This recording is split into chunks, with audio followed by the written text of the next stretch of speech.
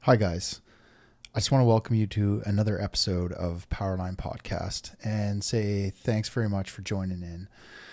Um, this podcast is starting to grow and starting to really take some shape and take some form. And I just wanted to introduce this next podcast in a little bit different way than I've done so far and say that um, I'm really, really excited about this episode for a few reasons. Um, this podcast is the reason I started this podcast was to share the stories of the line trade and of the electrical industry and to capture these stories, these these amazing stories and portray them in a modern way through podcasting, through storytelling, um, straight from the people that built these lines, designed these lines, or have had any sort of part in this industry. And this episode is um, with a man by the name of Peter Catchpole. And uh, Peter designed uh, a catenary system. And some of you might know what the system is, and some of you might might not. Um, I've been sharing photos on the Allteck Instagram page of of this catenary system for some time, uh, and the first time I heard about this and heard about what was being done up in the Kildala Pass uh, in northern British Columbia. Um, it's between Kitimat, uh, BC, and Kemano. There's a 287 kV transmission line that runs up through the mountains, and um, it comes up over the mountaintop, about 5,000 feet up in the mountains, and drops down into this bowl. And Peter's going to get into explaining this and talking about it in detail. Um, drops down into this bowl and then up through the bowl and up over the mountain, um, cresting the summit. And down inside the bowl is where they ran the transmission line. There's about six towers down inside the bowl. And it continuously got wiped out with wind and snow, avalanches would wipe this line out. So um, the line was originally constructed in the in the early 50s, which is amazing in itself, and we'll talk about that.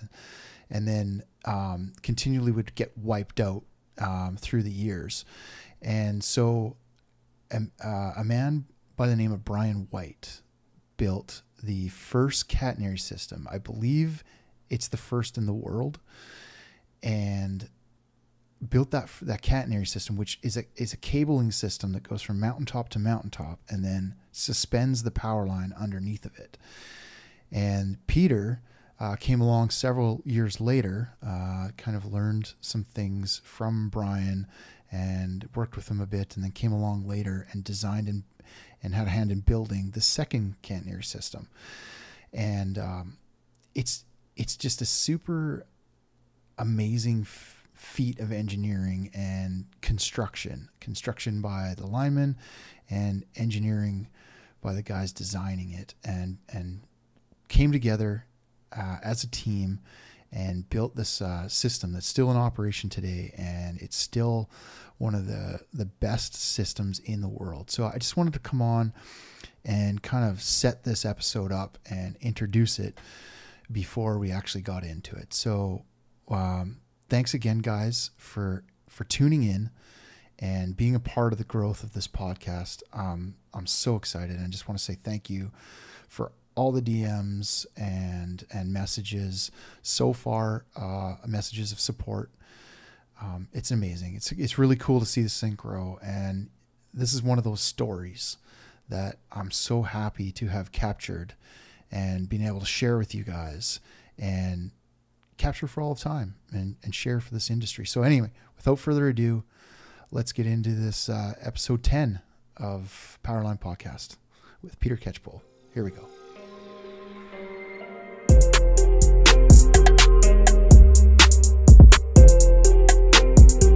How's it going? You hear me still? Yeah. Okay. Peter Catchpole. Uh, I'd like to say welcome to the podcast here, first off. Um, we're going to get uh, talking about a double circuit 287 kV transmission line that runs up in some pretty extreme mountainous conditions in British Columbia, Canada. Um, it's pretty unique, and we're going to get into talking about all these all these reasons why it's unique in a second. But uh, I'd like to start with a little bit about yourself and, and your background and how this uh, how you came to work on this line. Um, well, good to see you too. Yeah. Um, I, I go way back and say I when when this line was put in service in the end of 1954, November, I think I'm told. Um, I was see, six years old. I was about to be seven, I guess, and um, so I went into service. And I, sometime in the next year or so after that, and I'm living in Ontario at that time, Southern Ontario, and um, I saw a photograph in a magazine back then, and I've looked for that photograph ever since. I've never found it. I, I thought it was National Geographic or Life or something, and and but I can't find it. But it was a photograph of a mountainside, absolutely blank in pure white snow, kind of undulating. You know, it wasn't dead flat or anything like that, but dancing across this, that slope was about a mile's worth of trans, transmission towers. So, so there's nothing except some towers and white in this photograph, and I thought that was so cool. Okay. Um, so I was six or seven when that when I saw that. Life went on, and and I ended up going to university at Queen's in Kingston, Ontario. Um, my original goal was to be a naval architect. Um, in my first year there, a bunch of naval architects that I queried about that prospects, they said, um, "It's a lot of fun, but you won't make any money." I, I, think they were telling me to go away. um, so I looked around and said, what am I going to do? That's why I came here. The precursor was mechanical engineering. And a classmate at the time said, well, go do civil engineering. I said, what's that? Yeah. And he, and hmm. he points across the street at a new building going up, said, it's that steelwork going up. So anyway, I, I, I did do that. By the time I finished university, I couldn't imagine doing anything different. then, you know, you get out and start doing things. And at about, how does this work? I ended up in Sault Ste. Marie, Ontario, working for Stone and Webster, a big American company, doing being on a construction management team in the steel plant there. You know, blast furnaces, rolling mills, coke ovens, all that stuff. And um, at some point, they said, "Okay, uh, we're going to ship everybody over to Africa because these guys were going to spend money for a while." And I had just gotten married. Thought, that doesn't sound like a great idea. you're out in the desert. Most of the guys did go, and when they came back a year or two later, they never talked about it. So it yeah. can't it can't have been much fun. No kidding. yeah. So a friend at the time said, "Why don't you go work for the power company?" Who's that? Um, Great Lakes Power, and they just in the last couple of years they got swallowed up by what Hydro One, okay, Ontario Hydro.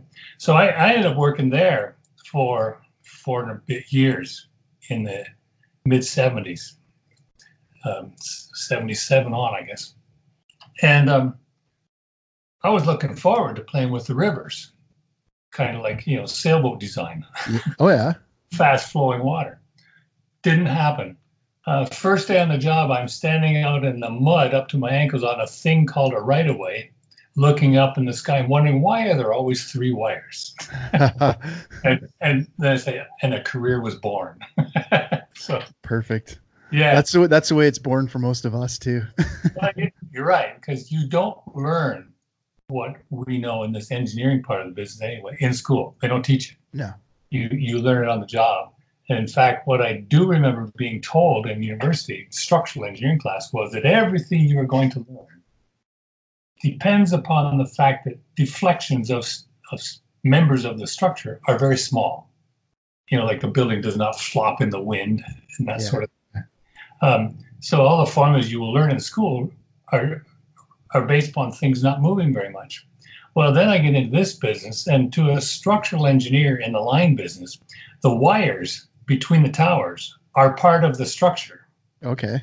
And in fact, they're the most important part they're the strongest part because with very rare exception, the wires, if pulled on hard enough, will always break the structure before they break. Oh wow! Yeah, see, this is something we know uh, and we realize just through dealing with it. you know, you'd often see cross arms broken or poles broken before you see wire broken. But this is neat to hear. You know, I looked at a failure years later in Nebraska where um, the dramatic way to say it is 60 miles of 345 kV K frames, like fancy H frame, dominoed, and um, the wire was was broken nowhere. You know, the structures broke, the wires never broke. Now the shield wire, shield wires broke, but that's why it started to go. Things like that. There was a there was a break actually about five miles into the 60 miles, and that's because a train came along later and snagged the wire and dragged it a quarter mile down the track. That'll do it. yeah. So, what you learn in this business is that the if the wires in, in these spans that are you know 300 feet to 3,000 feet long, if those wires are structural components, they are large deflection structural members. Completely different set of formulas and rules and ways of thinking than what you were taught at school. So that's why, to me, it, that's a technical explanation to say this is what you don't learn in school about this business. You have to learn it in an office somewhere. Yeah, um, no kidding. Yeah, and you're going to be taught well or not. Yeah. It, and I got lucky because the guy who engineered this line that you want to talk about, um, he's uh, 25 years my senior, I more or less, and maybe exactly. And uh, he was an excellent teacher, and he loved to teach this business to people. So he taught. He had students of him of his around the world, and I was lucky enough to be one of them. How did that How did that come about? It was a chance encounter, becoming like yeah, him becoming your mentor. Yeah, yes and no. I suppose I'm in the business, so 1977, yeah. 78 in Sault Ste. Marie, and a small company. There were like six of us in the engineering office, something like that. Three days after I started, the other civil engineer there, who'd been there forever, he was an older guy, he had a heart attack and was gone. Now, he didn't die, but he took six months off. And when he came back, he sat quietly at his desk and packed everything up and never did come back to work. So I got into this business and I had zero mentoring in the in the building. Um, in those days, Ontario Hydro was not a competitive thing. You know, deregulation made everybody a competitor. Sure. In those days, you could call them up and you could ask them questions. They would happily answer, give you guidance. So, you know, I, at the end of the phone, I had some people I could ask questions of. But we also used to send technical papers circulated around the office. That ha- I, I went to work on Ontario Hydro afterwards for another five years, over five years in the 80s. And, and there too, they would pass technical papers from all over the world that had been written around the various guys, and we and we had the opportunity to read these things and, and, and you know soak up some knowledge. And I found that one guy whose writing was pretty elegant and and and what he said, I I tended to think was good and good ideas and this and that. So one day, his name was Brian White, and uh, in 1985, I guess they were holding a big conference at the Royal York in Toronto, and I was working up the street by Queen's Park on the Hydro Building, and I, and I decided I'm going to go down there and listen to this conference. Just walk down the street, and he was making a presentation in a room, and it was a circus because when when he was in a room where there was a presentation, either he making it or him listening, things happened. if if somebody else was presenting, he always made comments, and his comments were usually aimed at educating the guy who just delivered a, a subject. so he he was like a pretty like oh, he like was, a guru, like pretty intelligent.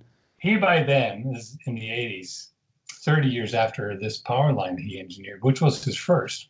Um, he'd become a world renowned person. You could say Brian and everybody in the world knew who you were talking about in the business. Okay. Anyway, I went up to him and I introduced myself to him, and and I, I, I said something that endeared me to him forever, because he is a he had he he, he passed away at the age of ninety by the way in 2012, and and uh, I can say a few things about him now that he won't hear. he might. yeah he had a fabulous ego. Um, he loved his accomplishments, uh, and he's very proud of what he had done. Starting with what we will talk about today, um, and and he he actually his ego need all his life his ego needed to, to be fed by his transmission line engineering uh, abilities, if you like. He lived off of that, and it was and it was annoying to a lot of people. And there was a guy who, another colleague in the business, who said after Brian passed away, he said, "Oh, Brian," he said, "I wanted to, I wanted to punch him in the nose every time he got up and talked, but I, but I learned something every time he did." he was a character. So I introduced myself to in '85, and we had a relationship loosely for a while. I went job hunting about five years later, '91, and and uh, I ended up in Idaho with this company, Power Engineers, who it turns out he knows. He knew people here.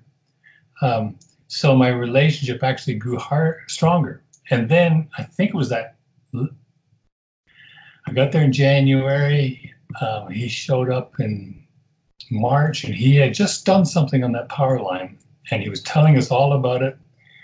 And he said um, he hadn't been up there for decades, I think, uh, but he had gone up there because they ran into avalanche trouble. And he gave them a quick answer. Uh, and he said they got a lot of stuff they want to do up there. And he worked all by himself. He'd been consulting alone forever out of Hudson, Quebec, outside Montreal and um, he wanted some help, you know, some people who could draft and write and calculate and these things. And so he asked if we were interested. I said, "Yeah, I'll go." So I I went up to uh, Kitimat with him. We got in a helicopter and we flew up onto the Kildala Pass up top there, and we're looking at this stuff.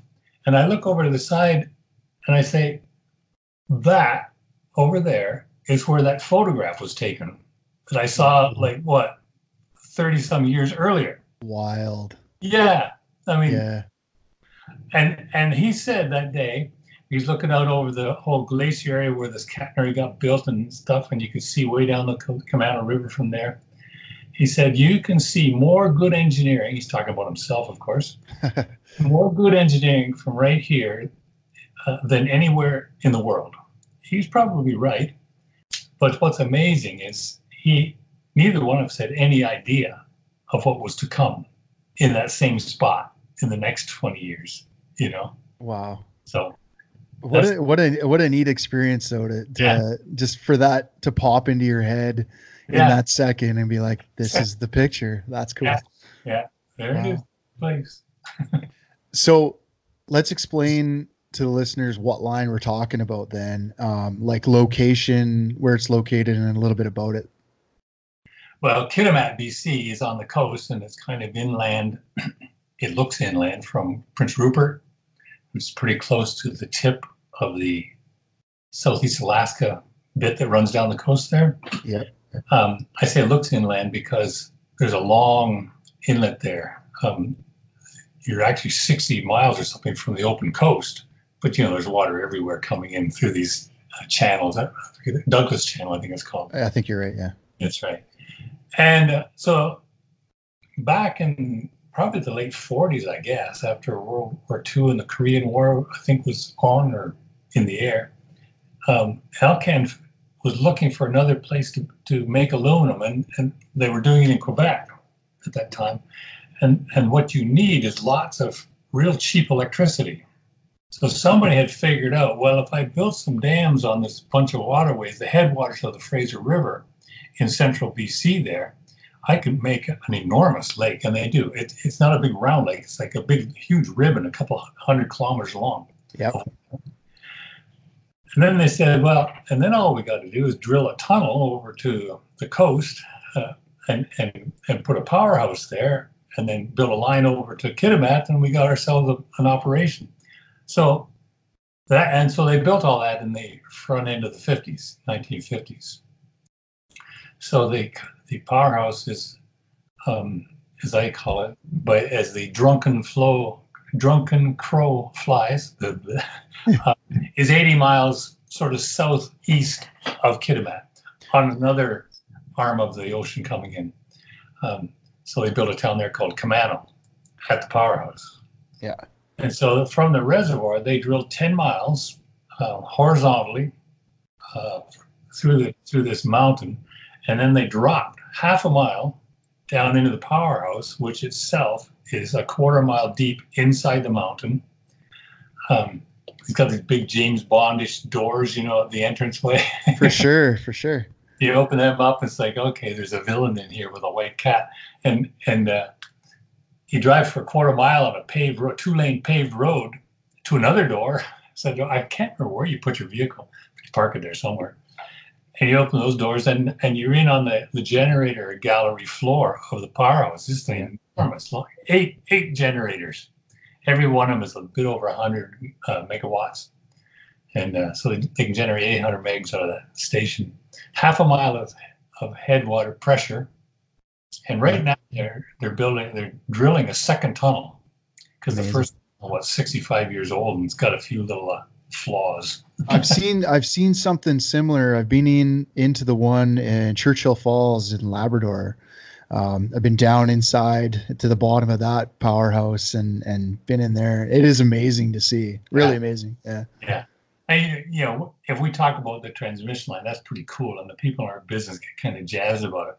But when you think about what the the other stuff that people do, you know, that tunneling and, and opening up a cavern in the mountain, building a generating station, like holy cow!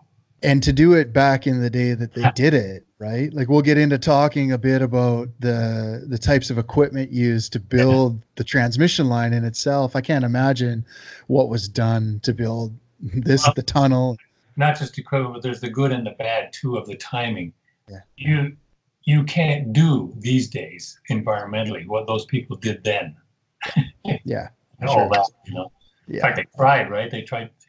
You go into the powerhouse, and on the one end of it, there's a big cavern, also dug out where they were going to put in two more generators, bigger ones, and and sort of increase the capacity. It was a KCP project, they called it back in the 90s, and uh, it got stopped by environmentalist issues. Uh, so you could not keep doing things the way they did it in the 50s, yeah for Yeah. sure and we can't either, of course.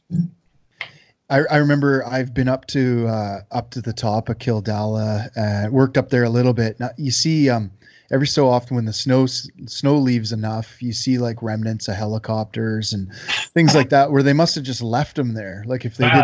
didn't, you know, when they built the line, and there's old photographs of it, um, there was a whole village, in a sense, built up there on the pass. I've seen that. Yeah, Or two dozen buildings, and when and when they were done, they burned it. Yeah. They torched everything except two two buildings. So there's a thing called Camp Eleven that's left, sort of a staff house, hardly ever used. Yeah. And another little shed with a a a bulldozer in it, sort of a about a D seven size thing. Um, which I th- is up there. Is I think is trapped there, and it, it will never get used again. if you Yeah. want, if you want a free bulldozer, it's up there. you just got to get it down. but uh, but I, you walk around there, as you say, and, and oh, there's rusty fragments of steel everywhere, and and burned woods. You guys never cleaned up nothing. No, no, there's no reclamation for sure. No, another thousand years it'll rot and rust. Yeah. So, what? how long is this line now? How long between Kemano? You you said that. It's 50 miles, or now they call it 80 80 kilometers. Okay. Okay. Yeah. Yeah. And Okay. uh, sorry, go ahead. Well, I was going to say it. You know, starts out at, at basically sea level at Command of the powerhouse, and and I, I just looked these numbers up a while ago as I was writing stuff for Instagram. It runs about 15 kilometers alongside the Kemano River, rising slightly. I think it, when it when Kemano River parts ways with the line, you're up like 800 800 foot elevation, not not very much. But then it it it, it goes up over the mountain, uh, and for another 15 kilometers, and then a drop. And there's a bunch of features along the way there that get important to the stories. But at the end of it, it drops back down to, to low elevation on the backside in the Kildala River Valley, and follows that out um, all the way to um, uh, to Kitimat for about 50 kilometers. Uh, most most of it along flat river valley, and but there's a modest mountain there called Green Mountain just outside Kitimat, which it goes over slightly, and then it crosses the Kitimat River Delta and into the plant. Yep. So you know, um, from a distance point of view, the majority of the line is alongside rivers and in low elevation valleys, and and has has uh, slopes on either side of it, you know, like a mile high, that that enjoy throwing avalanches and rock slides at it. And the river likes to swell up and drown it once in a while. Um, but the dramatic stuff to me, and, and Adam Chernesky, who looked after the line for all those years, 40 years, says the rivers gave him more trouble than the mountain I bet. over time. Um, but from my point of view, that the mountain has got some amazing stories in itself. I remember the uh, so I worked on um, a job there right at right near, near the delta. We took two structures and removed removed two lattice steel tower structures and replaced it with those 220 foot. Yeah, Uh, yeah, so Yeah. I was a part of building those, yeah, and then uh, I did a couple other little things with uh, with Allteck, changing out insulators, and we had Yeah. we had a project going for a number of years there, replacing insulators on that line. and so- years. Yeah. I, in fact, I had your guys on the phone um, yesterday with this other business, and he said there's still one tower, Tower 115, up on the pass that has not got its insulators changed yet. oh, really? Yeah, they, they were up there. He said they tried, I'm going to say in the last couple of weeks or something. Okay. They, they took so they took that line out of service to do it, and something happened. They they they they tripped the other line, and the, and the plant went off. Oh, that's not Which- good. Oh, yeah, that's never good when that happens. they said back in the nineties they had the same thing happen. Similar thing happened. They said that the uh, the pots in the old smelter before they rebuilt it could afford to be cold without without power for four hours, and Oh, then wow. then they would freeze up. Uh, and at that time, they said if they freeze up, it's probably not even worth trying to fire them up again. The town's cooked. Imagine that. Your life depends upon a four an out, a complete outage lasting less than four hours. Well, they had an outage. It was a it was an ice storm. I can't remember what triggered. I think it was ice on the transformers down in the plant, and they get kind of carboned up and they shorted out this and that. And and the guys they worked their tails off to get that thing back on surface, and, and they tweaked this, tweaked that, and they were they were off for six hours and twenty minutes, which means they were two and a bit hours overdue. Yeah, People saved the place. They, it's as if that place came that close to being just out of business. Amazing. Yeah. Amazing. Um, so what like we get into talking about the avalanches and the towers up in the pass, but did they not knock off the power? Or they had some sort of backup to Well, you do have backup from the from BC Hydro coming in uh from the other okay. Terrace. So there's something there, but I I don't know the numbers now. The now the plant is new. I think it's got a bigger electricity draw. It's Sure. more, it's, which is weird. It's more dependent than ever on these power lines, which are now older than ever. Yeah. so good luck. So when they were built, they were both both circuits built in the early fifties. Yeah, they, yeah. I I kind of think one led the other a little bit. You know, when you're down on those low elevation areas that I mentioned along the rivers, they're standard looking double circuit lattice towers. You know, they look like everything else. Um, they have one saving grace: there's no shield wires. I hate, I hate shield wires. Same. They're nothing but inviting trouble. But when when they get either side of the jump over the mountain, there was a big switching station, which it, where the equipment now is all gone, um, because they could switch from they, they broke it in two separate lines structurally uh, instead of all six wires on one tower. They you know, each circuit now had its own tower line. The one the one so in your backs to Kemano, uh, and you're looking along the line, the tower line on the on the right um, is a lattice line. It's sort of a squarish looking thing, um, single circuit, flat bridge uh, configuration, and and the tower's numbers start at number 100 uh, for this arrangement up over the mountain towards Kemano. I think there's probably 130 something, 140 towers. Sorry, 40. from 100 on through about 140, something like that. Um, and the line on the right is numbered, you know, like 105R. Those are Okay. those, those are R towers. And on the left, you have these big tubular aluminum towers. Uh, so the L line is is aluminum too, five leg swing sets. You know, like a big giant kids backyard swing set with a fifth leg down the middle, all on steroids. Yeah, this Yeah. is the, this is the line that I really got intrigued with when somebody started to tell me about it originally. This aluminum structure looks like a swing set, and it has like a trap door at the bottom, Mhm. and you actually get inside of it and climb up the inside of the leg. Yeah, yeah. Yeah. Some people can't. Yeah, I And just thought that was kind of neat. Climbing 125 feet in the air yeah, inside a little black hole. inside everyone.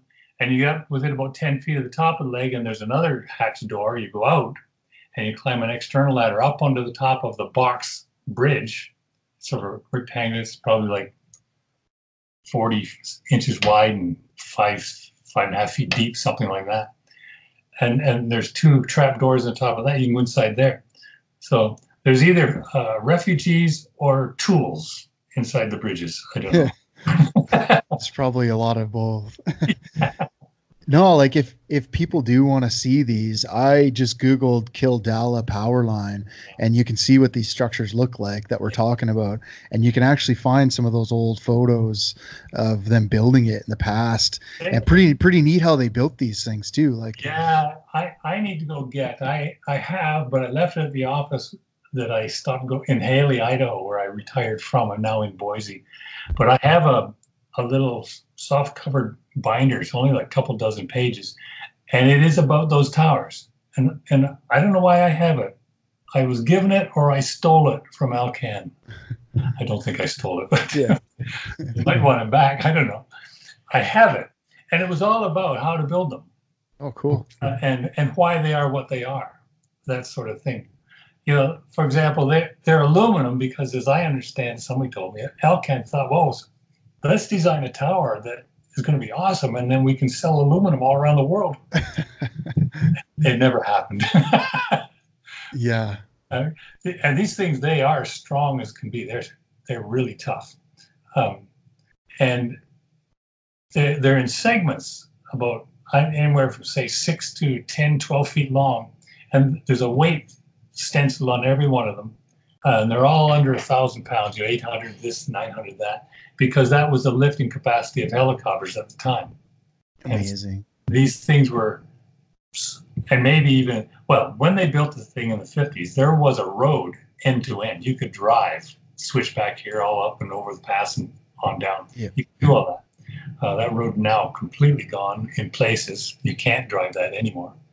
I haven't for years when I was looking up those photos, it, it shows pictures of the helicopters used as well. And there's that uh, I forget the name of the helicopter, but it looked like an egg beater. They called it the egg beater.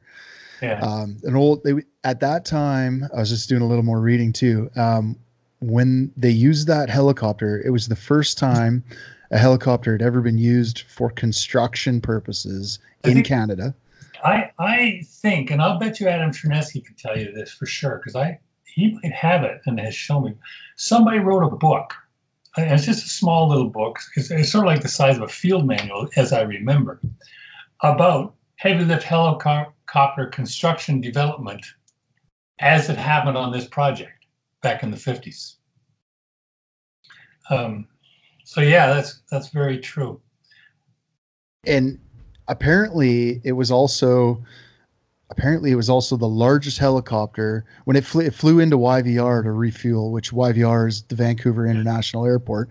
Um, was probably the biggest is the biggest airport on the western coast in Canada at least. Yeah. and it it was the biggest helicopter that that airport had ever seen. And this was early 50s so amazing amazing to think about these things. Like and then you go and google a photo of the unit and it's not that big and that that was their tools like that's what they had to use right lifting capacity of a thousand pounds well especially at that elevation yeah, you Yeah. know because you're a mile up, you're up 5,000 feet there at the pass.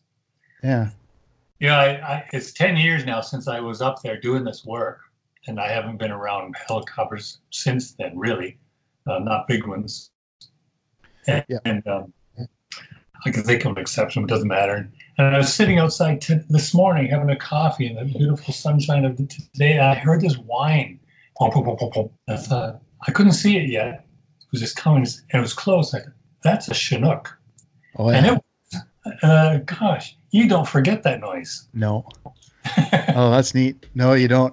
I I worked with a few, and I'm sure there's a few line guys listening to this that they definitely they know the sound of every helicopter. Like they Yeah. could just. I know Chad Hepburn was one of those guys. You, Yeah. You'd just be like working with them in a bucket or whatever, and he'd hear bop bop bop bop bop, and he'd be like, "Oh, that's an A star." That or That's might this. know which which machine it is. Exactly. Yeah. the, the, the Chinook came into our job site in building the catenary 10 years ago several times. And he would come up after a day of logging from somewhere, you know, and he'd come rolling up the valley, the, the uh, Kemano River towards uh, Kemano itself, where they have a big landing pad. And uh, you could hear him for a long way coming. And he's down low. He's only like 100 feet off the ground coming in. And, and it, it just makes the whole valley's air rock. Oh, Yeah. you know, it's, it's the energy is huge. Especially in the valley, it's pretty cool. Yeah, yeah. So, uh, walk us through a little bit of the power line as it comes through the valley and then up over the mountain pass, the Kildala Pass, and and down through the bowl, and what's kind of special about that. Well, so let's start from Kemano. So people listening need to, need to build a map in their head as we go through this. As I said, you go about 15 kilometers up the up the valley, and the rivers um, arguing with the power line for space, right? And a few towers are on the wrong side of the river, which is a problem for people. And, but anyway, you, you go 15 kilometers, and then in in front of you there there's a rather large mountain.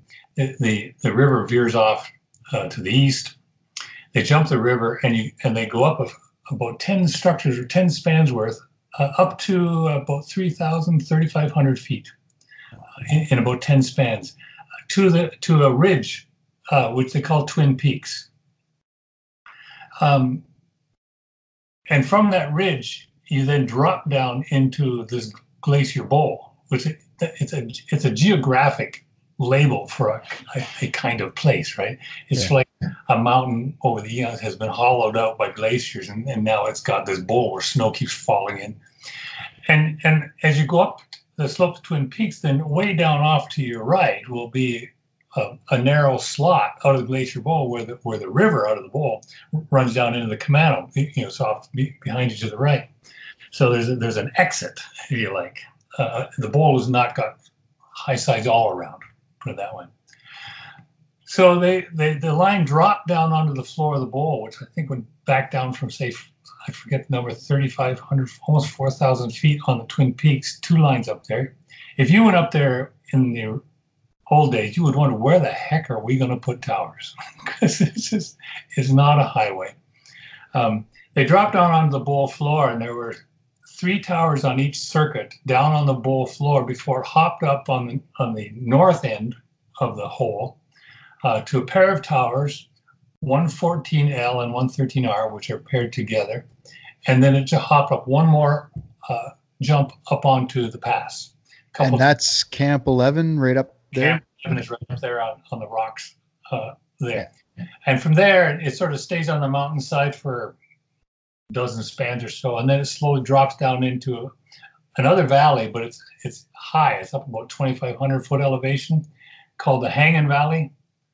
Another geographic name runs for about 15 span, 20 spans, and then that's that valley drops like the lip of a milk pitcher down into the Kemano River Valley, and there's a big switchback to get down. So it's a hanging valley because it doesn't blend into the valley below; it just sort of rock flowing then drops, Yeah. right? Uh, so the hanging valley and and the pass and the bowl and Twin Peaks is all considered the mountain. Okay. Um, so what happened is they built this line, and there's a photograph I have. Um, I I can't remember why I did this, but about two weeks ago I started a um, an Instagram account, which is maybe I think what you saw. Yeah. And I, for the lack of a better name, the way they like to label things, I call it the Kildala catenary.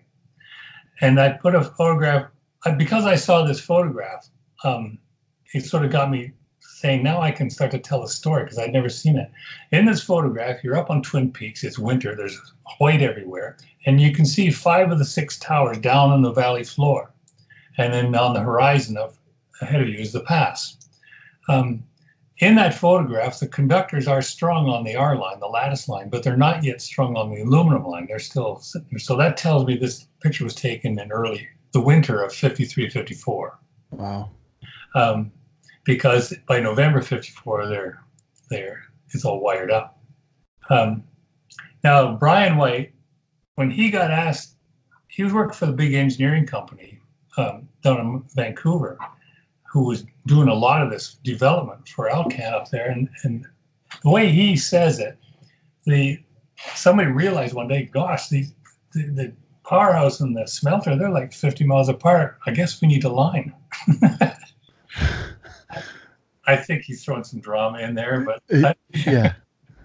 um, so he was 28 years old at working for. He had never designed a power line in his life, and somebody said to him, "White, go go make this power line happen." Imagine. Amazing. Now I was just thinking about that because I just read that on. Yeah. Yeah. And now I, I, a week ago I was telling you that I decided. Um, well, because I put the Instagram page out there, a guy at the Kitimat Sentinel, the paper, called and asked if I could tell this story in the newspaper there. The people up there would love that. And I said, okay. But then I decided I'm going to write it for him, for the magazine. I'm going to write it, it may turn into a small book. Oh, I would love that. I would love to see that. So it's, I'll get it done. Um, so in the book, I, I because I was working with Brian White so much, I had he wrote a lot of stuff and he wrote a lot of his own stories. And so I have those stories now. Now that he's passed away, I have his stories on the computer.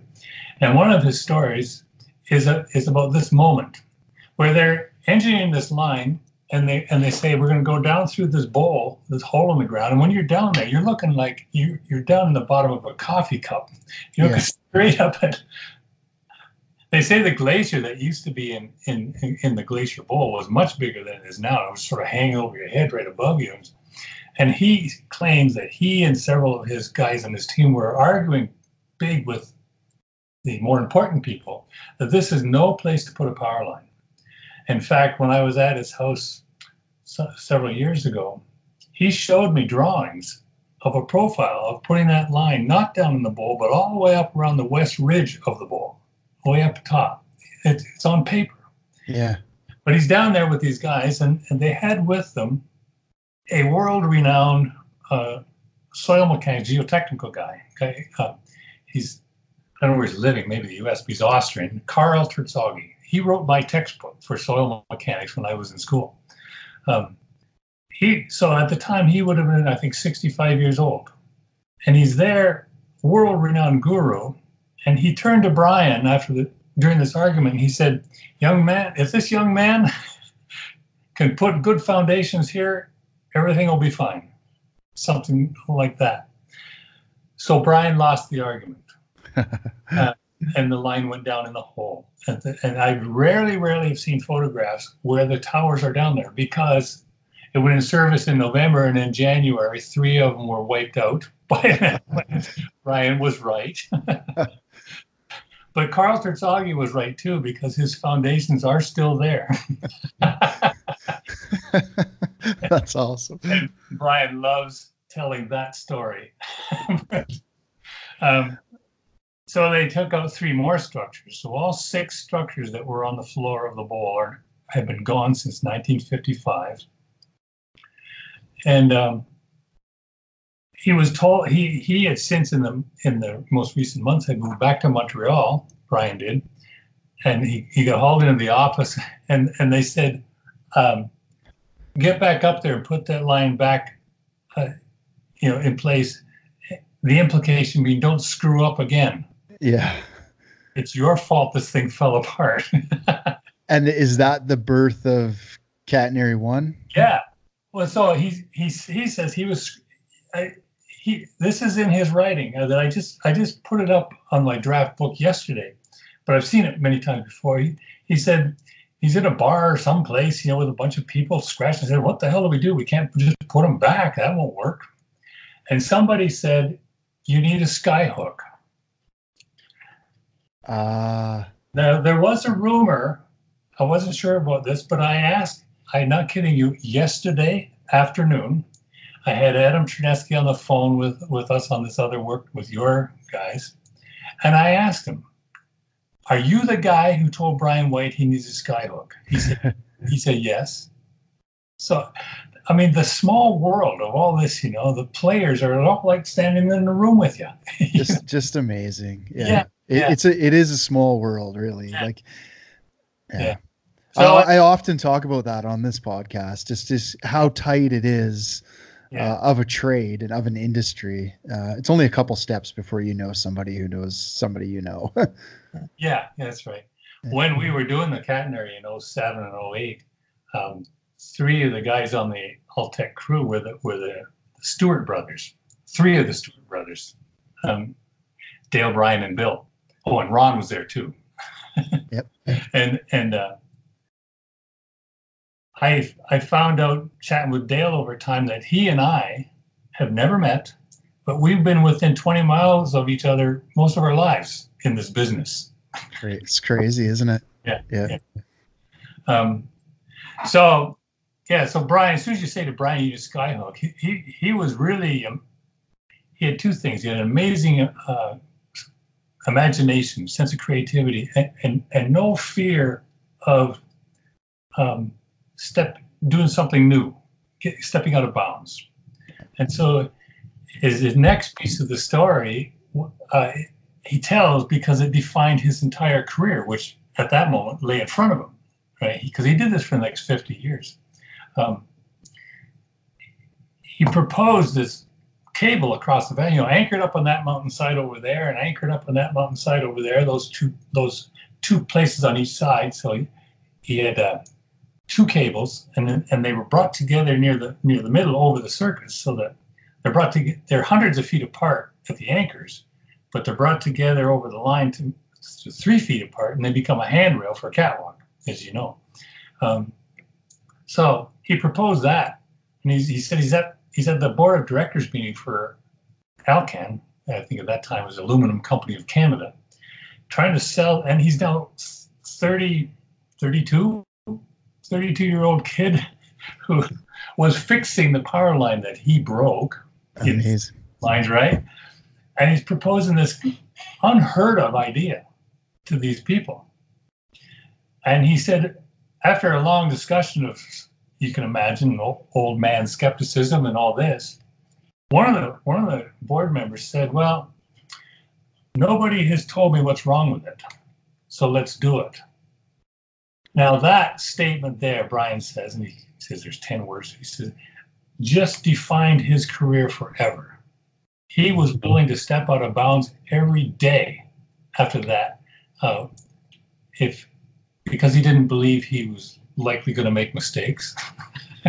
Amazing. I'll tell you one he did make on Kildala Pass. um, and uh, and so it went from there. Now, so the avalanche was January 25 in 1955, and they, the line went back in service, hanging from his catenary, exactly eight months later to the day, September 25. In eight months, they built that. They they figured out what to do. He told me in recent years that when I was doing this the other catenary, he said, "Yeah, but you cheated. You you used a computer." No kidding. He's there's some truth to that though. Well, he says, you know, I'm sitting in a cabin or a tent someplace doing, you know, log tables by hand, you know, this endless nonsense. And and it's like, oh, that must have been so tough. And and it, you know, in a sense, you had something to go off of. Yeah, You know, something to look at and go, okay, I- there, there's one right there. Yeah. I had a lot to go off of, which I'll tell you. Um, Yeah. So he did all that. You couldn't go up there and do anything until May, you know, because the, the, the especially the floor of the bowl. Every time I've been up there in the winter, the snow down in the bottom of the bowl is not just nice fallen snow. It's stuff that has fallen there and run. Yeah. It's, it's moving snow. That's what's down there. Um, so you can't go there till May or June. So, but when they did get there, they had roads. They could drive there to, to their job site.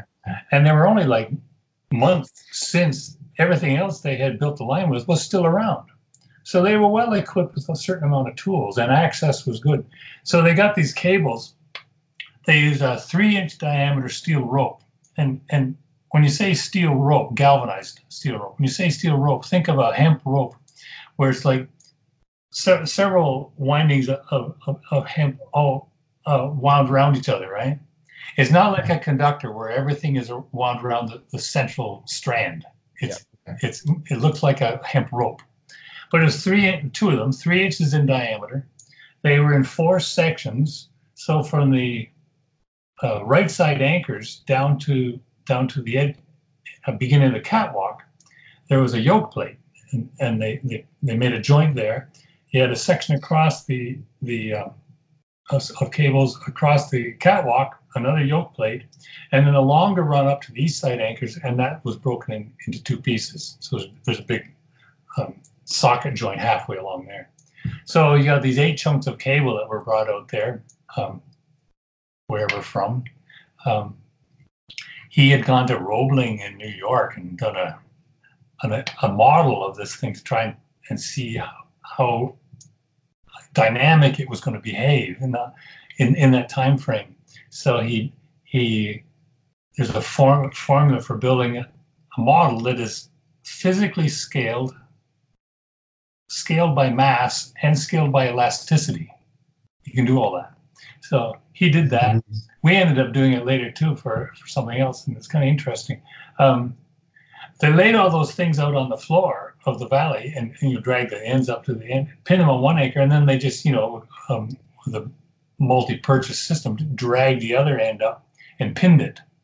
Um, and actually, later today, I'm going to post a photograph on Instagram of him standing by one of the east side anchors with the end of the clevis sitting there in front of him, ready to be pinned. Really cool. he was pretty proud. Um, so they built that thing in eight months. When we went back there in 07, because we had a, got the opportunity to build another the other catenary, um, we worked all that summer to get the line back in service and build some anchors. We worked five months the next summer, and we had to come back in 09 to put it. So I mean, it, yes, there's two catenaries, but the story behind them is so different. Yeah, yeah, for sure. Yeah, it, it built differently too, right? Yeah, that's that. Yeah. yeah. See, he, he he was building on the ground. Yeah. And and he, and some they had a little trick for when they started to raise it they had one. They had one of the circuits running, and this was interesting too. That big wire, the uh, the EMU wire, three thousand three hundred sixty-four kc mils. It's like ten limits. it's um, like the size of a Coke can. Yeah, two two point two nine inches. Yeah, a little over two and a quarter inches. Crazy. And the core the core inside is almost an inch. Um, so um, that was supposed to be a conductor, but it all fell apart. Now, remember, three of the structures that are were removed were still there. So I think what they did was they jury rigged a span from up on the face of Twin Peaks, where you jumped off from a high elevation, down to one of these towers, and and they ran the circuit, at least one of the circuits, maybe both, I'm not sure, um, for the duration of that construction project. But it was over your head, not under you when we built the second catenary, these op- circuits were operating properly underneath us. Amazing. And, and, our rule was don't drop anything, please. Yep. Yeah. so that wire that they jury rigged with, I'm told, was four aught, 300 kV, four aught. Wow. And they said that stuff was just sort of waving in the wind like a snake with Corona. I bet. so, yeah. Wow. the stuff you do. How did they how did they raise that up? They just pull it up with cats or Yeah, I think they must have taken one end and pinned it. Yeah. An anchor and then just had a big, you know, multi-purchase yeah. um, system to drag it up the other end, probably winching from a machine down on the valley floor. Yeah. Because on that east side access there's terrible. It's a steep, slippery place. Amazing. Yeah. So yeah, they, they, they raise it up and they somehow pass it past the operating circuits one at a time, get above it, and and now the new conductor replacing what was damaged is laying on the ground, all calculated to length, pinned at the two ends, and they just raise it up. Uh, that catenary is 450 feet above ground. Uh, Amazing. yeah. how high is uh, how high is the one you built? Hey, mine's bigger. yeah. 500. Yeah. I did that to him one time. I said, it was so good to do a second catenary while he was still alive because it sort of validated his crazy idea, right? Yeah. It, it legitimized it somewhat. But I, I took a bit of pride, and he wouldn't show. Uh, he wouldn't let me uh, wallow in my pride. Oh, He'd sit there stiff-lipped because he's like that. I said, "Well, mine's higher up the mountain. The cables are on average 200 feet longer, and it's higher off the ground." you got them beaten every way. That's the best. yeah, That's the that's the kind of competition or the kind kind of competitive spirit we all get too. yeah, yeah, yeah. How many structures did you build today? I don't know. I got three or four. Oh, really? I got six. Ed reminds us routinely, for example, that he had, he has uh, erected the two highest elevation towers in Canada, Nice. beating his own record. is there is there uh, do you know is there other catenaries in the world now or are these the only two? Uh, yeah, there there are, but they actually don't compare to these. Because I, there's a cable in Hawaii on Oahu that you know there's a big steep spine down the middle of that island, right? And, Yep. and on the backside behind Honolulu, somewhere there, um, I haven't really looked at. it. I could have. We have lidar at at one point apparently, so some of the guys in the office know about this. But it's just it's just a single cable designed for no ice, obviously Hawaii, Yeah. and it holds uh, some 69 wires hopping off that high ridge on the island. There's that. Um, I got a paper which I can't read. It's Russian. Um, there's something in Russia where they, they sneak through sort of a hole in a in a mountain someplace. So it's not long span. It's not high off the ground. It's just a cable guiding wires around a rock somehow. Um, but but conceptually, it's, it's this. Um, and then uh, I saw a photograph several years ago, fairly recently, They did something in South Africa, and I don't know the size of it, but it's very different. Um, and I, again, I don't think it's going to compare and scale to these ones. Um, they even put crazy. They, I don't think they have a catwalk and stuff like that, for example, but they would put insulators assembly in line in the cable system. It's like, really? You want all that crazy stuff in your tensing track? I would not do that. No, no, not at all. And like you, you'd have to think that at some point in the life of those insulators, you're going to have to replace them. Yeah. Yeah. So, Yeah. yeah, But yeah, there are those few. yeah, Yeah.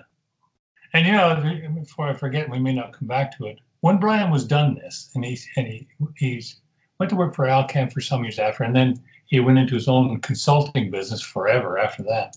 But somewhere along the line, he got such a kick out of the catenary, which by the way, he didn't call a catenary at the time. He called it a cross rope because it was a steel rope across the power line. Yeah, gotcha. So there, you you know you I'm sure you've seen at the high high voltages 400, 500, 735. There are um, cross rope suspension structures out there. Two two mast guide like a tent, cable between them across the top, a bunch of cables there, and and three insulated strings hanging down in in between them, right? Yep. Um, so it's a they call it a CRS, cross rope suspension, and it only makes sense at these big voltages, really.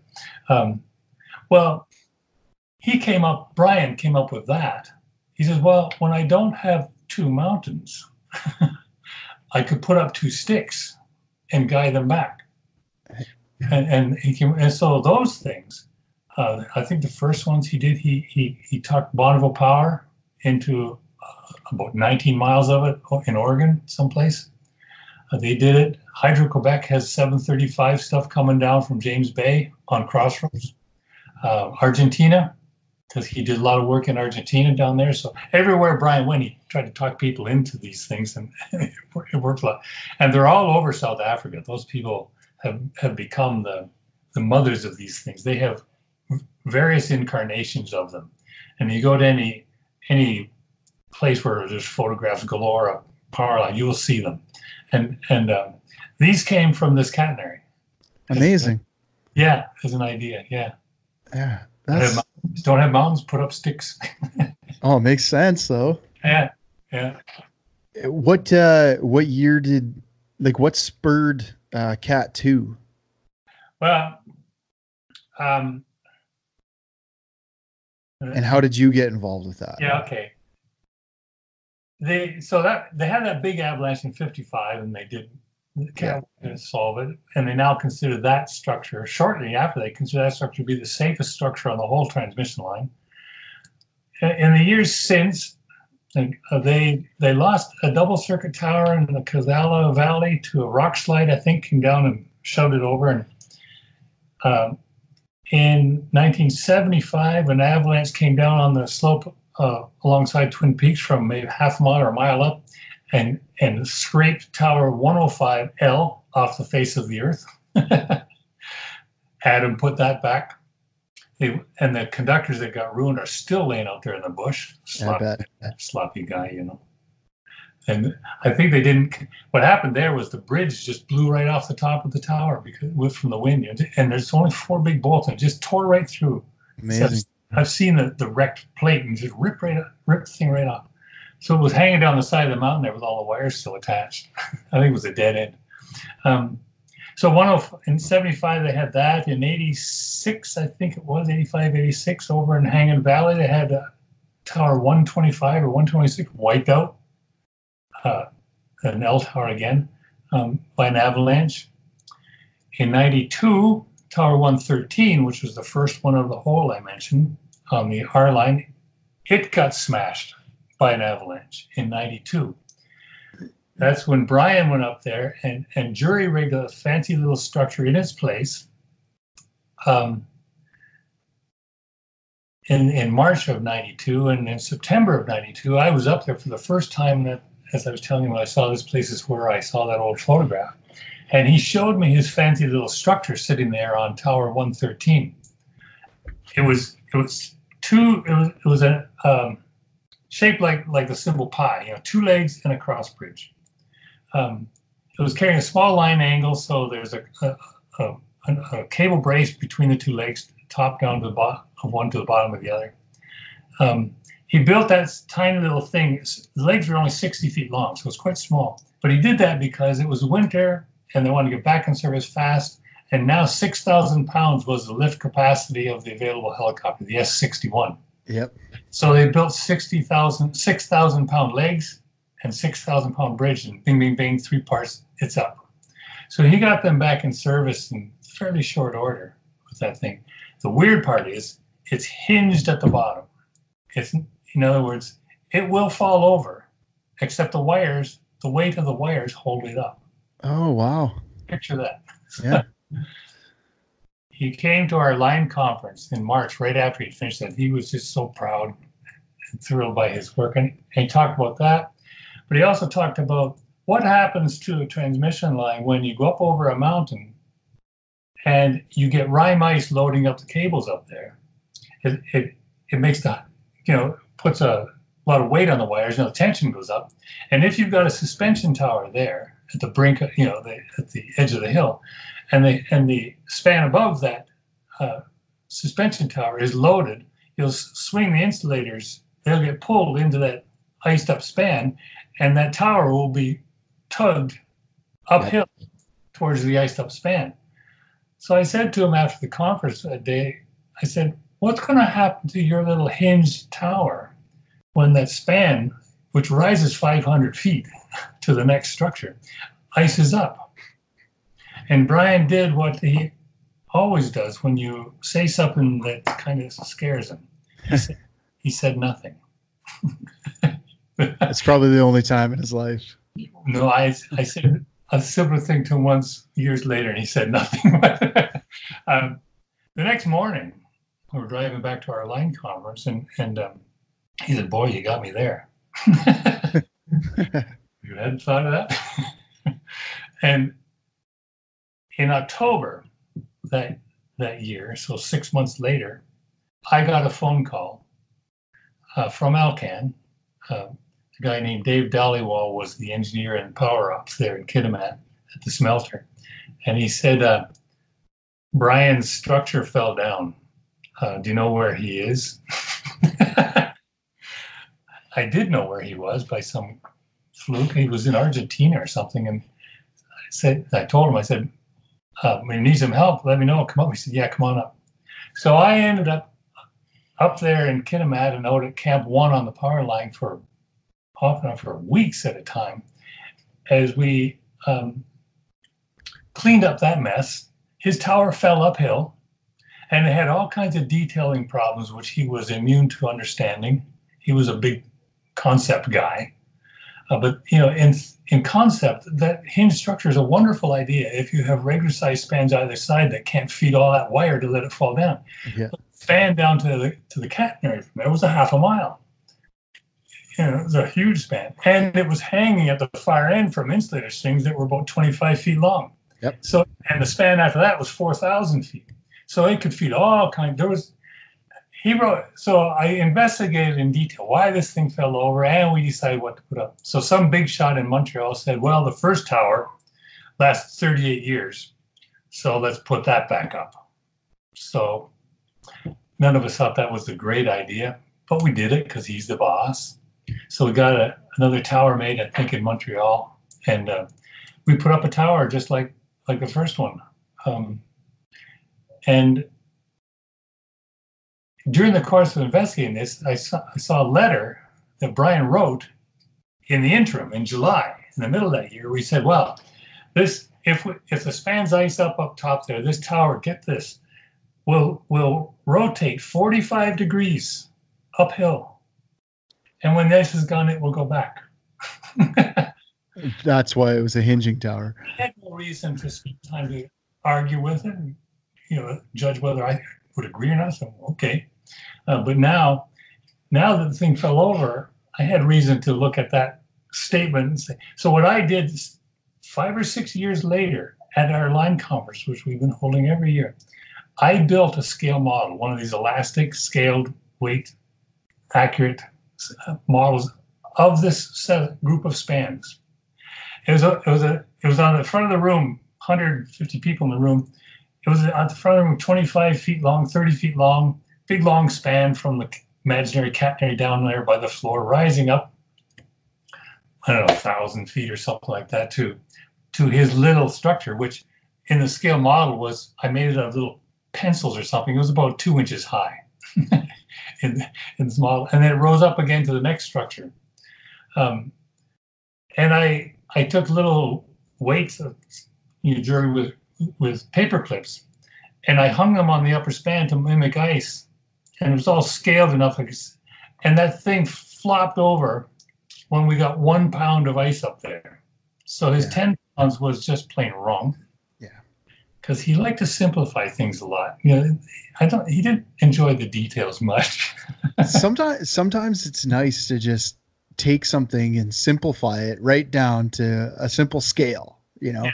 Just a couple pencils. This is what it would look like. And sometimes, yeah he had argued for all these years in between that the reason it fell over was was that the armor grip, um, the, the, clamp, was loose and let go. Oh you know, come on! You could lean. No, you're water skiing, right? And and, yeah. and, and the rope will slack, and and you let go with one hand, you're likely going to fall over, right?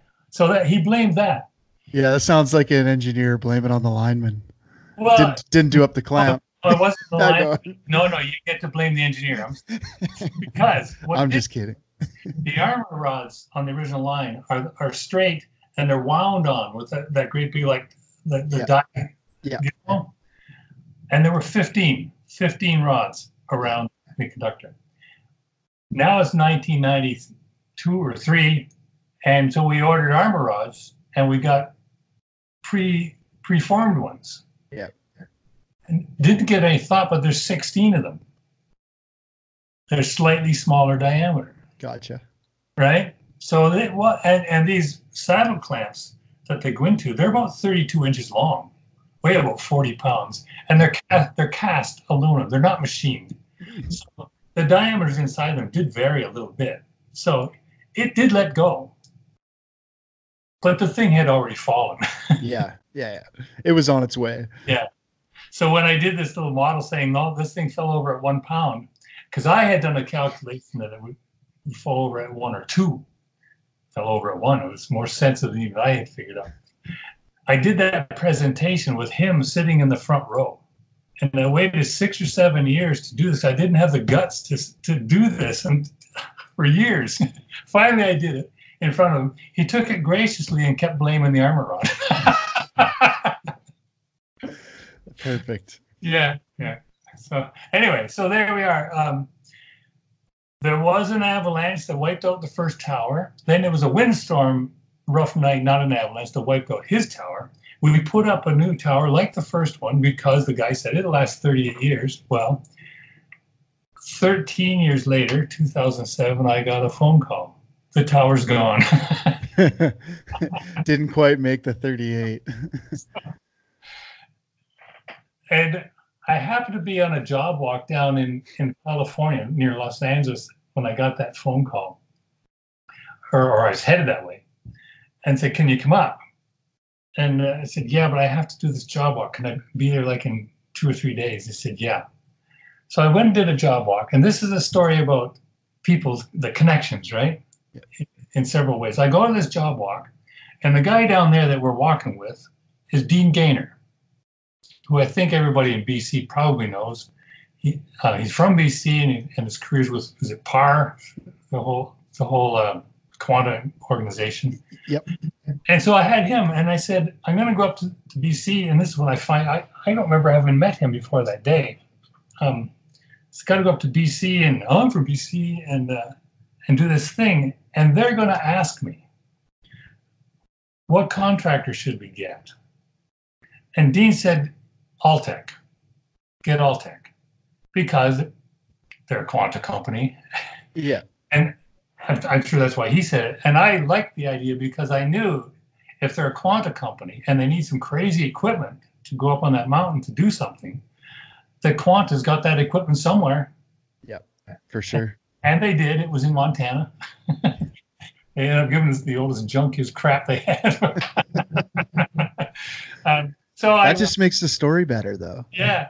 So I went up there that couple days later, and, and somewhere in the conversation, I'm sitting in a room which I hadn't been in in about close to 10 years and had been sadly wishing I could get there. Well, now I was. And nobody in the room was somebody I knew. You know, all the people in those 10 years had changed. And I said, How did how did you get my name? You know, why did you call me? I said, Well, when we had our meeting yesterday, um, there was a guy in the room that, that knows you who doesn't work there anymore this Dave Dhaliwal that I mentioned to you. He happened to be in the room from Vancouver that day, and they're saying, "Who do we talk to?" And he said, "Call Peter Catchpole." Amazing. Now, so I got, so that became, you know, shortly after, can we build a catenary here? And the answer was yes. And but the only reason I got to do that was because a guy that I had done work for 10 years earlier happened to be in the room. And Allteck got the job maybe because they would have earned it, but because I happened to be with a guy in California who said use them. Amazing. I love those things, you know. That, that, yeah. Yeah, that's really neat. I, that's that's the whole reason for this even this podcast is just sharing stories like this and that's really neat yeah yeah and when we got i, I probably went to a couple meetings up there at that time and at some time it, it, it got somebody said, okay, let's build a catenary. And just like, I damn near wet my pants with excitement. You know, this is, I get to do one of these things. I I phoned a, uh, Wire Rope Industries in Montreal um, while I was at the Vancouver airport coming home, and and said I need cables, and and I ordered cables, a production spot yeah. Yes, I had already figured out what cables I wanted by that time. I didn't know the length, but I knew roughly. Like, where do you, what do you, how do you start with that? Like, you start at foundations or like, what do you, like, what's your process for starting a project like that? Well, I, I did have the benefit of, of hanging around Brian enough and being up there enough to, I knew what Cat 1 was about. well, it wasn't called Cat One at the time because Sure. it's called Black Catenary. So I, geez, what am I going to call this second one? So I thought, well, that's the white cat. We'll call this the black cat. It turned out to be just one and two. But what I had done in the interim, in the in the in the years since my first visit there and studying his failed little H thing, was the power ops manager was trying to be real proactive, and so he we looked at a bunch of things up and down the line. So we went in the Hanging Valley where they had lost that tower in '86, and we put on paper. We designed a catenary for there, in in pretty good detail. How to install Okay. it works. I knew it would never get built. Um, I still have stuff here if they want it, but they may not. it was going even bigger. it was, I get this right. It was, it was well over five thousand feet across the valley. oh man, wow. The the the catwalk, the two circuits were quite far apart, so I had two two separate catwalks, short ones at each circuit, just so you can go and walk around and look at the insulator strings and things like that. And it was a 900 feet in the air, and Wow.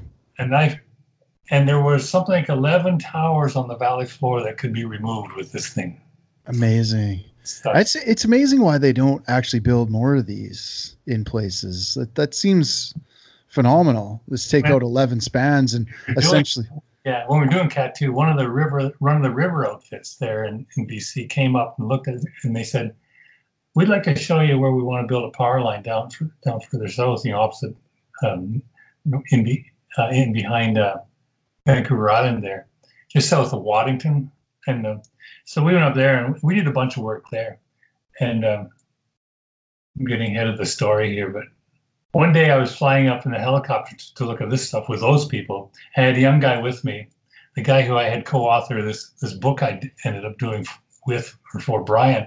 Um, he's in the front seat, and we're and the guy says, "Let's take a shortcut to wherever we were going." So we go up this valley, and it was the valley was shaped like a U, just had almost vertical sides up a thousand, two thousand feet, and then more mountain back after that. He turns around, his eyes are wide open like an owl, and I knew what he was thinking. This valley is perfect for catenaries, and it's a shortcut. perfect.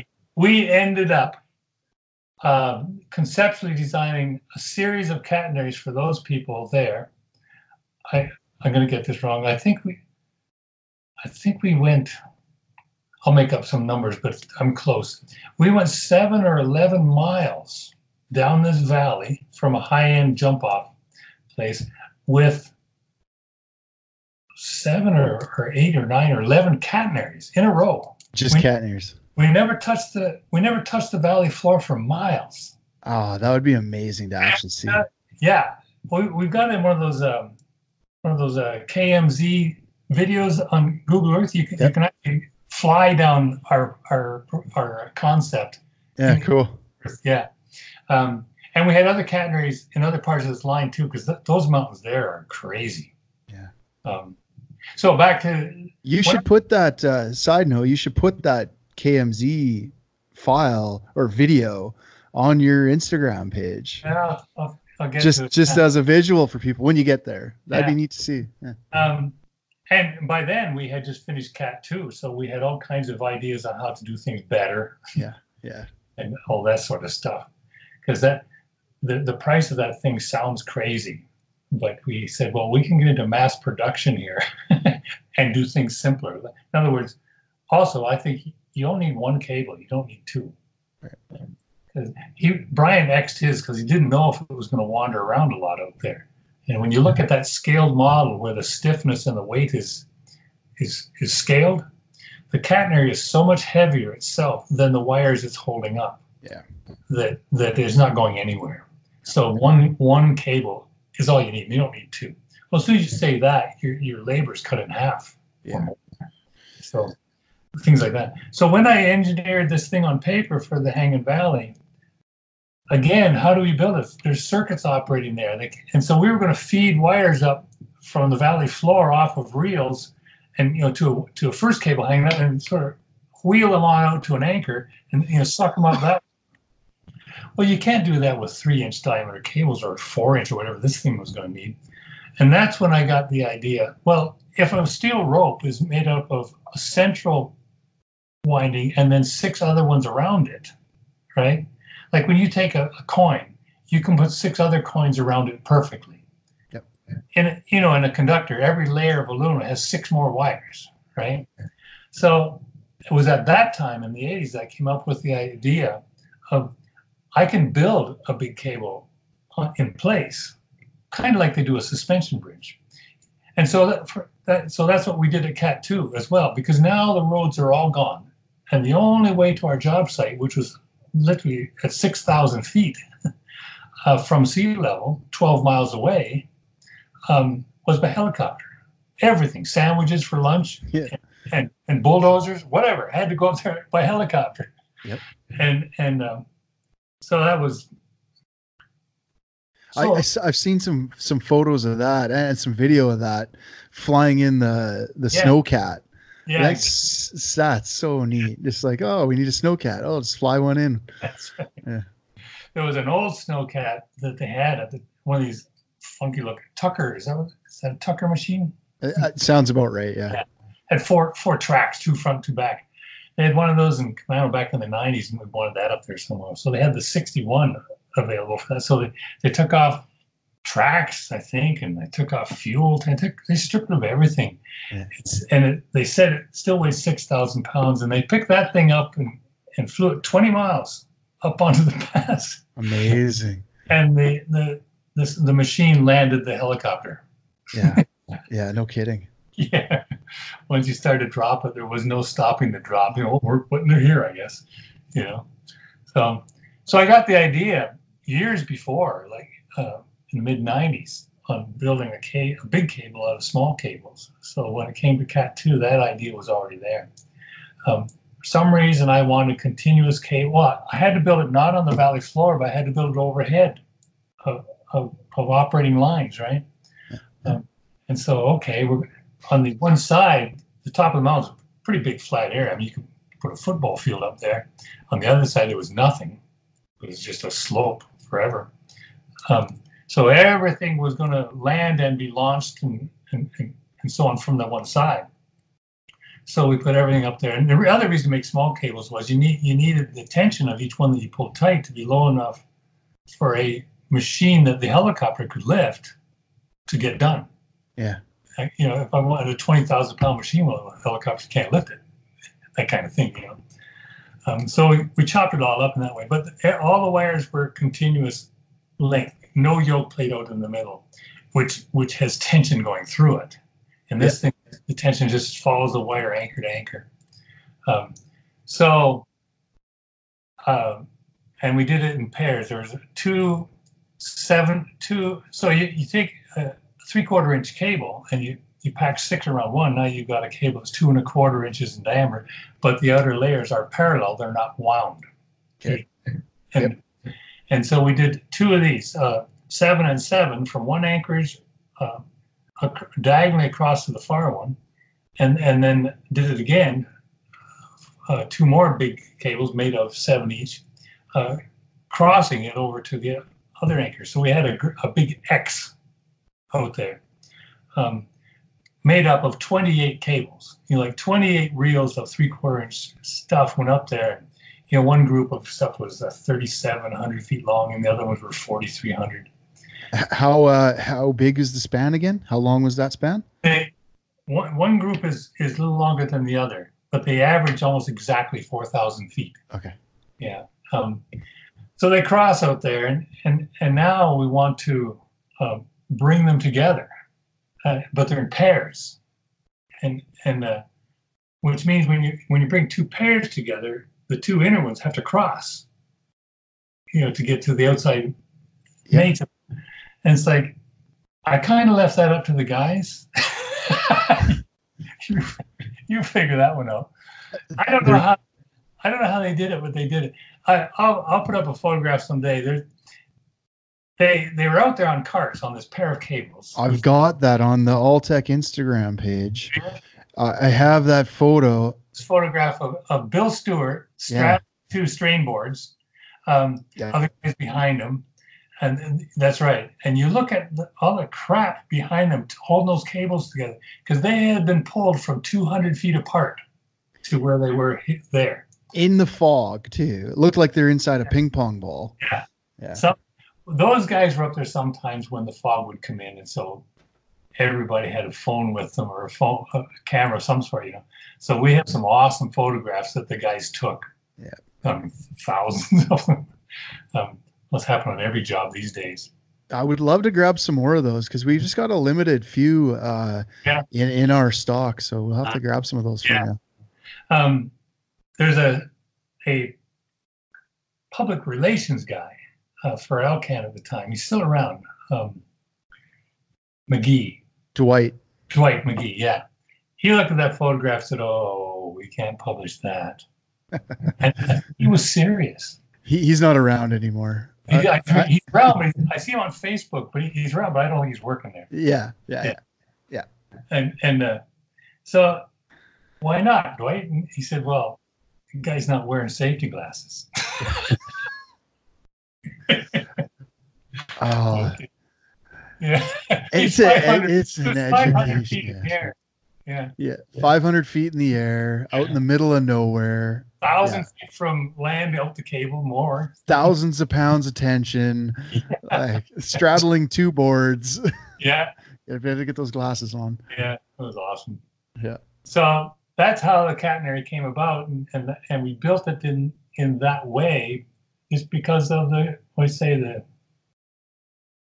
what's going on. You know, you had an operating circuit you could not afford to shut off. Yeah. And, and we, and at the end of the day, you know, on a typical transmission line project, the cost of the labor, the cost of the doing is roughly equal to the cost of material that you're standing up. You know, it could be 60 40, 40 60, but call it 50 50. Sure. This project here, when you're done, was one part material, 12 parts doing. Yeah. So it didn't matter what you bought. It only had to make the doing easier. Yeah. It was all in the work getting done. Yeah. Yeah. Yeah. Helicopter. One day the Chinook came in to do some work, move some stuff from one place to another. It wasn't the first first time he was there. He, in one day, I, I this is written down someplace. He did like 24 trips onto the mountain and, and putting 124 tons of stuff up there, something like that, from 12 miles away. 25 mile round trip, back and back and back and back. And those Chinooks, I've heard, I don't know the price off the top of my head, but I've Well, heard they're they're not cheap. No, he came back for another trip, and he just had a couple hours work to do one day. He arrived at thundering into the valley, as we said, uh, 5 p.m. one day. Too late to do any work, so he sets down. We wake up the next morning, and as happened a lot, it's raining, and the whole day was socked in. He got to do the work on the next day, and then he he flew after a couple hours. Well, this is 10 years ago, 11 years ago and he cost thirteen five an hour. Um, we supplied fuel, and and his minimum time was four hours, typically, right? So we paid four hours times thirteen half thousand. What's that? Fifty-four, fifty-two thousand dollars that rain day to watch him just sit there. Amazing. Yeah, but hey, That's all part of it. Not only that, they said when the year before, when the thing was out of service, because the next time the avalanche came and hit that second tower, it was a different kind of avalanche than hit the first one. The first one was a powder avalanche that came down from above and hit a gully beside it, and just, just the air blast just crushed the tower. It's hard to imagine what it did. And so there, it was all just laying there crumpled on site, falling uphill, of course. the wire plugging it up there. Um, and the next time, this, this tower, um, the avalanche was not a powder avalanche, it was a wet avalanche. And it came down from more or less the same place, but it left nothing.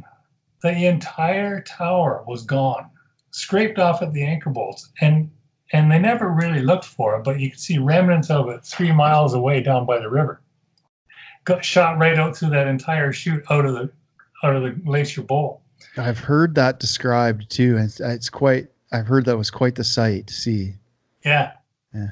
So it's gone, and and uh, the two outer phases, the insulators were just suspension, and they snapped off, and they were so it was all there. The center phase was tangled up in the middle window of the tower, and so it got torn. It this wire, uh, the breaking strength, 135,000 pounds, and it it tore it. And this, I forget how many tons of steel are in that tower, but it's not small. And it went down the valley, mixed up in this mountain of moving snow. So it's like you know a mountain of concrete, Yeah. really, traveling down there. And when you stand there, you can look, and it would sort of head off to the right, and and it went underneath the old catenary, the only catenary at that moment. It went underneath it, um, and the middle phase, which is now locked up in this block of stuff that's moving, um, it, it eventually tightened up. You know, it, it grabbed hold, um, and it pulled the whole catenary downhill. It it um, it did a lot of warping and damage to the to the catwalk because it, the the insulators are hanging from a yoke plate system that straddles the catwalk. So when it swings you know, back and forth ahead or back online, it's going to bang into the catwalk. Um, we smartened up on Cat 2. We put slots in the catwalk. So when you walk cat, you have to step over. Yeah. but the thing can swing and not wreck the catwalk. So it had torn up the catwalk. But not only that, when it pulled it downhill, it loosened the spans 4,000 feet back to Twin Peaks to the point where the this is this has to be what happened, but it's hard to imagine. I don't know how high those things are off the ground be, when things are all kosher, but let's say somewhere between 50 and 100 feet. But one of the phases, I think, was the outer phase closest to high ground. It must have got down, dra- you know, with the moving of the catenary, it sagged way down, and it got tangled up in the steel and shit of the moving mountain And- and about 400 feet of that phase wire had the, there's four layers of aluminum on this thing. The top two layers were scraped back for 400 feet, a big wad of you know spaghetti back Just there, a mess. Yeah. Brains. Yeah. Oh. wadded up back there, about 40 feet w- wad of this stuff. They operated that line for the whole rebuild session. Uh, The other circuit's gone, so they're on one circuit, the L circuit, and they operated that circuit with two layers of aluminum missing for four months. it's now as big as Falcon Conductor, the two inner layers. Amazing. a big wire. right? um, yeah, so it took it took one week short of four months to get them back the second circuit back in service. And when one circuit is off, the system rules from BC Hydro, you have to curtail generation. Yeah. They can't take that big a hit should something now go wrong with that circuit. So they were they were um, held back from selling power uh, to BC Hydro, which is their norm. They didn't they weren't using all of it in the smelter. And and the cost, the lost power revenue in those nearly four months was 10 times the cost of building the catenary, Oh wow. as expensive as the catenary was. Amazing. And so the catenary was like a no-brainer, including the fact that the insurance company said, "We're tired of this stuff falling down up there. You need to do something different." Yeah. Which was part of the incentive for a catenary. Well, the catenary is different for sure. We now have two best structures out there. But they are, they are the only circuits, the only structures on the mountain where both circuits are dependent on one structure. So Yeah. that, that's a scary notion. But there's they're so secure. Like the way the design rules for that whole line were in the beginning, we tried to keep that on this. And they say it in a funny way compared to the way we do now. These days, if you build a power line, you know, in Vancouver someplace, you know, it'll be designed it'll be designed to carry like one or two inches of ice. Sure. Sorry, one inch of ice, maybe more. But it'll be like one or two pounds per foot. We don't express it in pounds, but you could. Yeah. But it'd be a number like that. Well, over this mountain, the number is 40. Wow. That line is designed for 40 pounds of of weight, but if that per foot. per foot. Now that includes the wire itself, which itself weighs five, almost Yeah. five. So, but it's an extraordinary number. Yeah. And now it's never, I don't think they've ever seen that. We think we saw when that structure got knocked over, his hinge structure fell. There was ice up there, and we think we might have had 10 pounds a foot at that time of rime ice on the pass. Amazing. But that's that's the most up there that anybody can point to. What was the size of the wire again? The EMU wire is 2.29, two and a quarter inches, a little bigger than that. Roughly five pounds a foot. 4.76, Yeah. four and a quarter pounds a foot. Yeah. And it was 15 kilometers of that. Yeah. Yeah. Yeah. It's especially made just for this project too, right? It's not in the books. Yeah. And and I and they made it themselves because they're they did that at the time. Yeah. I don't know if they've ever sold it to anybody else. Um, I, I do believe there's a reel or two laying around out there getting mossy, but Cool. yeah, yeah, big stuff. Oh, that's so neat. Yeah. Wow. It, so it's 11 years old now and really Yeah. had no no issues. No. far as- No, we, we, we gave them a maintenance plan, you know, go look at a whole list of things every year for the first couple of years. Cause you know, it's kind of said that when, when you, when you build a transmission line, if something's going to go wrong, it's probably going to go wrong in the first year or so. Uh, seems, seems to be true. So watch it closely for several years and then that five years back off a bit to 10 years. I can't remember what exactly we said, but they're now they're, they're calling this the 10 year inspection. We put a caveat on it saying if you see th- something wrong, fix it.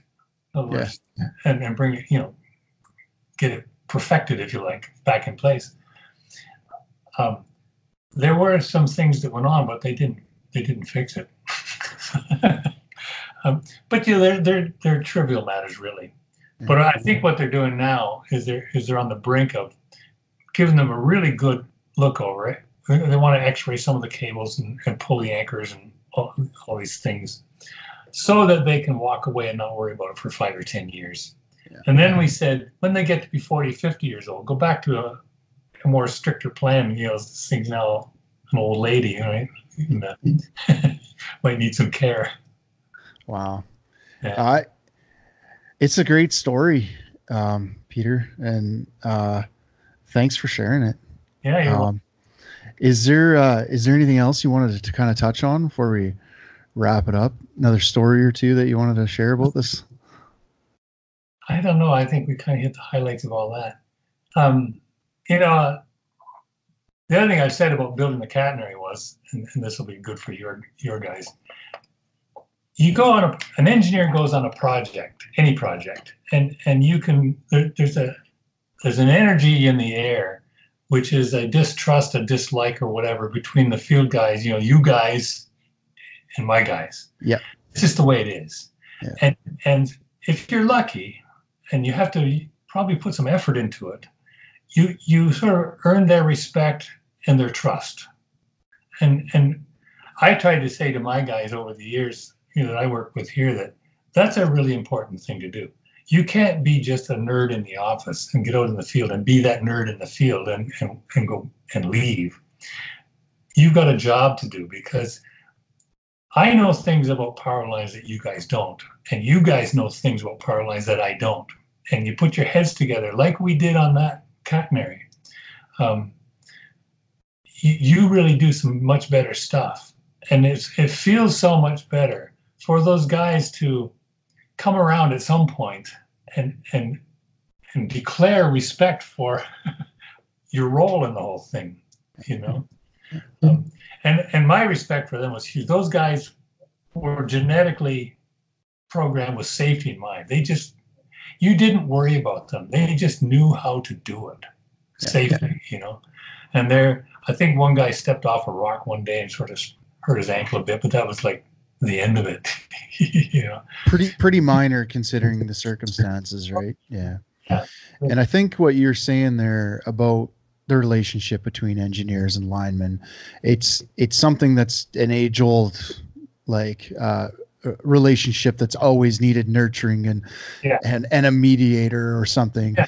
but Yeah. it is it is important, and I've I've tried to say it in other podcasts that it's a it's a good thing to to take that into consideration and to really nurture that relationship and build upon it because like you said about you each have a very important role in the project in what you're Yeah. building and it's going to be a better project overall if you can come together as a team and Morgan. understand each other's role in it so yeah no, I, appreciate what you said Yeah. Contractually, the the Allteck guys, it was a, it was a team sort of handpicked and created by Fred Hogman, Yeah. um, and they he did good. Great guys to put up there, um, but the collaboration that we we we got into fairly early on was just so good. You know, I had to write up a plan for the owner, who turned it turned into a, a good friend. You, you might even know him, John Rilkoff. Yep, yeah no john Yeah, because he worked for you guys for a while and went over to Rokstad and stuff like that. Retired a year ago. Yep. I haven't chatted with him since this morning. yeah um, he he contracted Allteck directly to Alcan, and he contracted us, the engineer, directly to Alcan. But he said, "But I want you to operate as if they're contracted to you, you know, like an EPC kind of thing." Yeah. And so we ran it that way, and he and he was there as a very much as a partner the whole time. Um, first person I called for my team was Adam, because he knows everything. Um, and it, as as awesome as it is to describe what we built, the, the, the most beautiful, rewarding part of the whole thing was that whole people story uh, uh, that went on. Yeah. And then years later, Chad was up there the, the last year when we all we do was raise the last circuit and drop to the last tower. Um, he, you know, he since then has called me for a bunch of stuff up on um, um, Brucejack and ILM. Yeah. These things, you know, and he won't. He wouldn't have done that. Yeah. If we hadn't. If he hadn't been there and seen how we were working with the guys, and it's it's all about just showing them respect for what they know. From my point of view, uh, those guys just knew their stuff. the Even- human the human factor is the most important part you know and it is the relationships you build along the way that make it what it is no matter what team you're playing on you know it's still a human on the other side of it and the relationship you built with that person that helps you get along in your career Yeah. Yeah. Now, there weren't days when they didn't roll their eyes at me. yeah that's part that's part of it too They didn't even curse me under their breath. it's like you go out the next day and say, "Mm, okay. Yeah. I, I had written this long-winded plan out, pages and pages, step by step, day by day, and, and then was put on a schedule, day by day schedule, that assumed no rain, no no downtime for not just rain but clouds, whatever. Um, and then that's the way the schedule was written. And then we assume, oh, we'll probably get a third of our time will be down. Um, it turned out to be 50%. It was a terrible summer in 08. But when you subtracted out all those off days, half days, whatever, however I did it, those guys stayed on my plan to the day, the whole time. It was brilliant. And, and, and I said, anytime you got something that can be better, tell me, you know, Yeah. because I don't know everything, obviously, you know. And but little things like you're going to cross those cables, I'm going to turn around and look the other way because I have no idea how you're going to do that. But there it was. yeah Yeah, the guys are miracle workers in a lot of ways up there. Yeah, no, it's re- it's a really neat story. So you were saying that you're going to put this story in a book. Yeah. Well, like I said, a couple of weeks ago, I I saw this photograph or two, and I said, I got a whole lot of stuff about this, you know, because there's so much extraordinary stuff up there, including having that transmission line define careers. Brian White got defined by it. I got defined by it much later. I was so thankful I was 58 when I was doing mine instead of 30. Yeah. I'd be chasing rainbows for decades afterwards. No kidding. 40 years left of a career. I did drag some young guys up there. I said, I'm sorry. yeah. Um, but I, but there's so much happened up there, and and it's like saying there's such weird stuff up there. That's if I don't write down, you know, Brian's gone, and then Adam's still around, but he's been saying he's going to write a book of his story there, but he hasn't done it yet. And I want I want to talk to him. Um, if I don't, I'm the only guy left who knows a whole lot about this transmission line, as far as I know. I said, if I don't write it down, nobody's going to know why these things are there Yeah. and what they are, what they are, why, why, why things are where they are. Um, so, so that's why I'm going to do it. It started out as this Instagram thing, and the guy from the paper up there wanted an article. And then I said, I don't write an article. I'm going to, I'm, I'm going to write the whole story, and then you pick it apart however you like. Yeah. I suspect it will turn into a modest sized little book. Yeah. Lots of, pic- lots of pictures. well you just let you just let me know we'll keep in touch and i'll i'll promote that book for sure that's again and one of the reasons for the podcast is it's just a modern way to tell our stories and get them into the ear holes of Yeah. guys who need to hear this people that need to hear these things it's what it's what's fleeting uh, or leaving our trade is these stories like if you look at the books written uh, about line work there's not a lot of you know not a lot out there about electrical Yeah. industry in itself Yeah. there's a few the american lineman's a pretty neat book a chronological history of electricity and line work and but other than that there's not much out there It's amazing. I just I got a call from people I I know, conductor company, who said they put their wire up um, in, a, in a place in California, and there's no wind. There's nothing happening, but it's vibrating. And the owner, the utility, is saying, "What the hell?" And um, can can you can you help us out? I said, "Yeah," and and, and here's where I'll start you're telling me where that line is. We've had a guy in our office here for who for 25 years has been talking about another line right there in that valley doing the same thing. Who says when he was looking at that line and he's been watching it for 25 years, construction guy said, "Oh, there's a 500 line over there hopping right out of the shivs when we're building it on a eight o'clock in the morning when there's no wind." There's, it's like a Bermuda Triangle of vibration there. yeah So I said, go ask the utility who who did or maybe still do own that line that's been vibrating for 25 years if they know that. And I just an hour before this call here, I talked to this guy and the utility doesn't know that. It's all young people. amazing And no, there are other lines out there doing the same thing. In other words, it's not your product that is Yeah. the problem. Yeah. It's, it's what you want to hear. Yeah, isn't that neat though? Like, Yeah. and that's what's that's what's leaving. Like these stories are leaving with the people that leave, and Yeah. they're not getting told. They're not getting passed down, and and really, that's what uh, that's what a power line apprenticeship is. It's it's the passing down of knowledge and the ways of doing things from the people from the people before you. Stories.